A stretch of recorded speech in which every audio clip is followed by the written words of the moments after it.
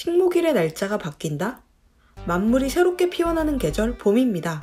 따스해진 날씨에 맞춰 꽃과 나무를 새로 심기도 하는데요. 어릴 때부터 나무를 심는 날 하면 4월 5일 식목일이었습니다. 그런데 이 식목일의 날짜가 바뀔 수도 있다는 사실 알고 있었나요? 산림청은 최근 제76회 식목일을 앞두고 식목일 날짜 변경 타당성을 검토하겠다고 밝혔습니다. 1946년부터 지금까지 매년 식목일은 4월 5일이었는데요. 지구온난화로 3월 기온이 높아지면서 나무를 심어야 할 시기가 빨라졌고 이에 따라 식목일을 앞당겨야 한다는 의견이 늘었기 때문입니다. 실제로 식목일이 제정된 이후 70여 년간 식목일의 기온은 약 2도에서 3도 정도 올랐습니다. 먼저 식목일의 유래부터 알아볼까요? 식목일이 4월 5일이 된 이유에는 여러 가지 썰이 있는데요.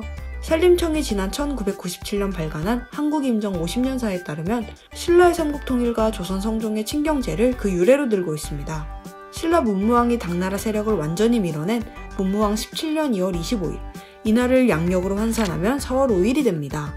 또 조선 성종이 서울 동대문 밖 선농단에서 제사를 올리고 손수 밭을 갈며 풍년을 기원한 성종 24년 3월 10일은 양력으로 4월 5일이죠. 식목일, 생각보다 더 깊은 역사가 있는 날이었죠. 뿐만 아니라 식목일은 나무를 심기 딱 좋은 날이라는 청명과도 가까운 날입니다. 24절기 중 다섯 번째 절기에 속하는 청명에는 구직갱이를 꽂아도 싹이 튼다 라는 말이 있습니다. 식물이 자라기 좋은 환경이란 뜻이죠. 식목일 날짜 변경 타당성을 검토할 것이라고 밝힌 산림청은 국민적 공감대 형성이 필요한 상황이라 덧붙였는데요. 식목일 날짜 변경에도 찬성과 반대 의견이 존재하기 때문입니다. 날짜를 바꾸는데 신중해야 한다는 사람들은 앞서 말한 식목일의 역사성과 상징성을 근거로 듭니다. 2009년 정부 차원에서 식목일 날짜 변경을 검토했지만 그대로 든 것도 그 상징성 때문이었죠. 나무를 심는 날이라기보다는 기념일으로서의 의미가 크다는 의견입니다. 하지만 식목일이 현실과 동떨어져 있어 날짜를 바꿔야 한다는 의견도 많습니다. 나무는 3월 중순에서 하순에 심는데 정작 그 기념일은 4월이라는 이유 때문이죠.